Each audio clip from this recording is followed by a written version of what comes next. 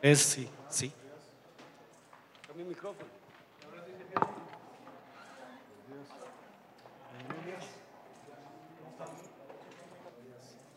Muy buenos días, colegas. Muchísimas gracias por acompañarnos este día de hoy jueves por, para esta reunión, eh, que es una serie de reuniones que tiene el señor presidente de la República con las diferentes fuerzas políticas. Le damos las gracias al señor José María Figueres, presidente ejecutivo del Comité Ejecutivo del PLN, el jefe y su jefa de fracción del Partido Liberación Nacional, doña Emilia Molina, jefa de fracción del PAC, y el ministro de la Presidencia, don Melvin Jiménez. Para iniciar esta pequeña conferencia, el presidente de la República hará un balance de la reunión, asimismo el señor José María Figueres. Muchas gracias, muy buenos días para todas y todos.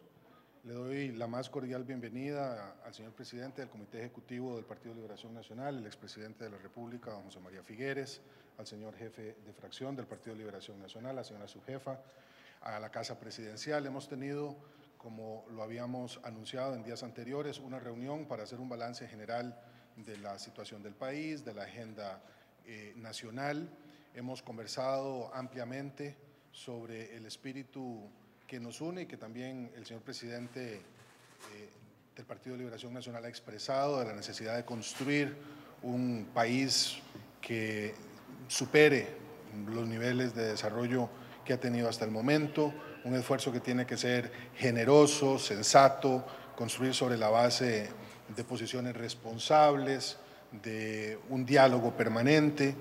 eh, nuestro convencimiento de que el momento histórico debe permitir a Costa Rica eh, moverse hacia adelante con paso seguro. Hemos recibido hoy en la mañana la muy buena noticia de que el país ha sido ya admitido como candidato a formar parte de la organización eh, de, para el Desarrollo Económico y la Cooperación, que es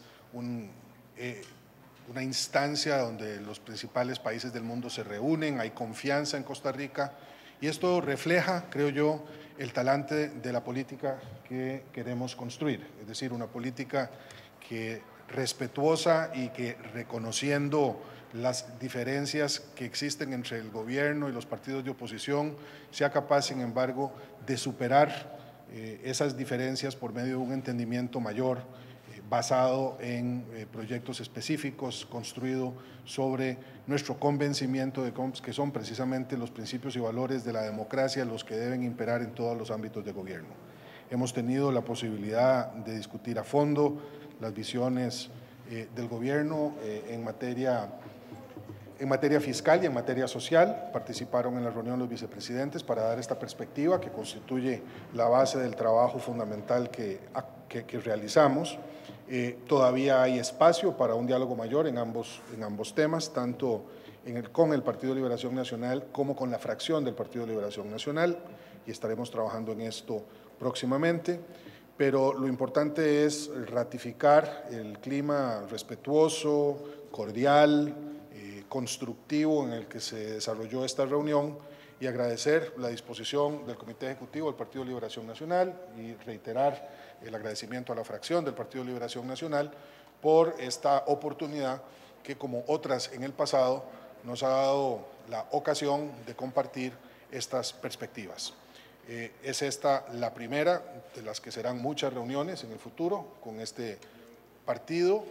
que sin duda siendo el mayor eh, representado en la Asamblea Legislativa eh, como partido opositor, constituye un referente muy importante e ineludible en la labor de gobierno y por esa razón, nuevamente, eh, señor presidente Figueres, siéntase muy bienvenido en este proceso que, al igual que con el Partido de Liberación Nacional, hemos realizado con los demás partidos representados en la Asamblea Legislativa. Muchísimas gracias, señor presidente. El señor José María Figueres nos brinda el balance de la reunión. Muchas gracias. Buenos días, amigas y amigos. El Partido Liberación Nacional es el principal partido político de este país. Costa Rica decidió que fuéramos oposición y como principal partido y oposición siempre seremos aliados de Costa Rica y de su desarrollo. Y es en ese contexto que hemos acudido respetuosamente a la invitación del señor presidente, la cual por supuesto le agradecemos. Hemos tenido ocasión de conocer mucho más en detalle de lo que conocíamos todo lo que es el programa social que lleva adelante el gobierno bajo la responsabilidad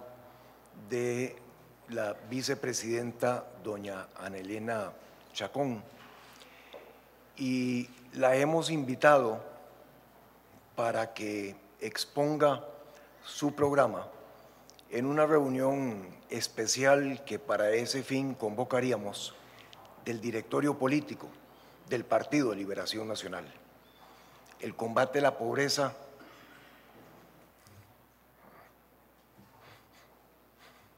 es una tarea prioritaria, a todas y a todos nos compete y ahí queremos apoyar en todo lo que Liberación Nacional pueda apoyar los esfuerzos que realiza el gobierno. Por otro lado, hemos también compartido con el señor vicepresidente y ministro de Hacienda, don Helio Fallas, la situación económica del país y él y el gobierno han hecho hincapié en la importancia de que le pongamos atención a la situación fiscal. En este campo, Liberación Nacional quiere aportarle al futuro del país el que nos pongamos de acuerdo en una agenda de crecimiento nacional. Creciendo al 2 o al 3% como venimos creciendo a lo largo de los últimos años, no vamos a lograr las condiciones de bien vivir a que justamente aspiramos en este país. Y por lo tanto quisiéramos contribuir a una agenda nacional, como la ha venido planteando el señor jefe de fracción y la señora subjefa de fracción, para que pongamos metas claras en cuanto al crecimiento del país. Que adicionalmente a eso podamos establecer cómo es que se va a hacer un esfuerzo importante en la reducción de gastos, no en una manera que reduzca la operacionalidad del Estado, sino que más bien nos saque de algunas de las situaciones que hemos tenido en Costa Rica durante muchísimos años y que si este gobierno tiene la voluntad, en Liberación Nacional tenemos también el coraje de entrarle a transformaciones importantes en la parte estructural que le ayuden al país hacia el futuro. Y en ese sentido, por supuesto, estaríamos también entonces, luego de fijar unas metas de crecimiento nacional, y de ver los esfuerzos de reducción dispuestos a ver lo que es la agenda fiscal, ya como una política de direccionar a la economía en el sentido que la queremos llevar, una economía pro equidad, una economía pro crecimiento y una economía verde, porque pensamos que ahí están las mejores oportunidades para el futuro. Muchísimas gracias a José María Figueres. Vamos a iniciar así un periodo de preguntas.